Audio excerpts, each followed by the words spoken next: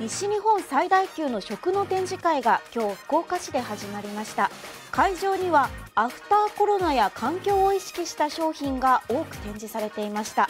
そこで今日のテーマはこちら。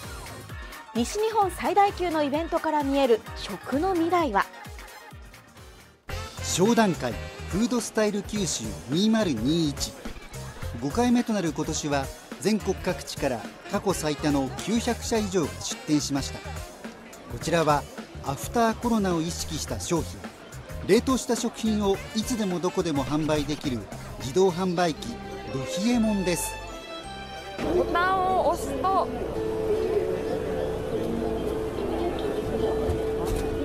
出てきました。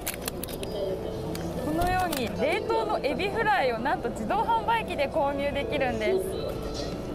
今年2月に販売を始めたこの自動販売機新型コロナの打撃を受けた全国の飲食店から注文が殺到しすでに1000台以上が売れているといいます。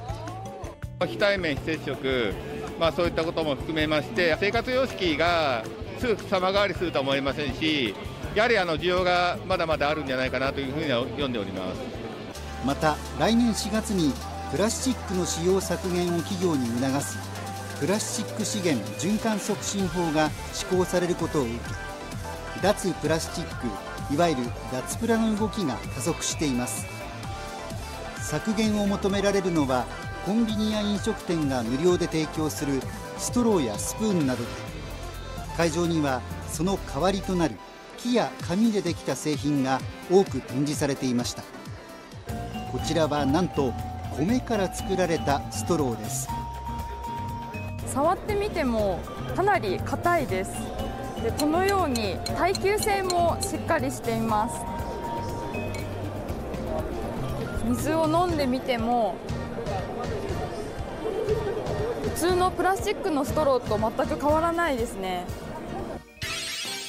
この米ストローの商品開発販売を手掛けるのは福岡市内のベンチャー企業ユーテイです。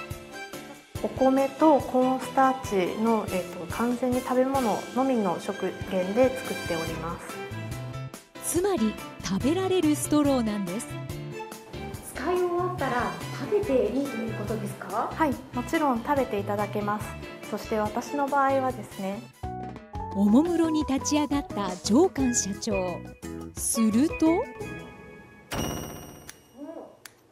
使い終わりましたらこのように植木の肥料にすることができます。土で分解され肥料となるためゴミにならないという優れもの。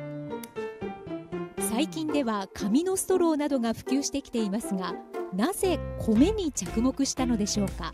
そうですね。あのお米主食なんですけれども年々やはりお米の消費量っていうのは減っていてでお米が余っていて困ってらっしゃる農家さんとかそういったところとあの協力してこういった商品に変えていければいいかなというふうに思ってます。一方で米ストローの課題はコスト。プラスチックストローの卸値は1本0.5円ほどなのに対し米ストローは1本7円です。価格の部分でいうともうプラスチックにはもうどの素材も勝てないんですよね。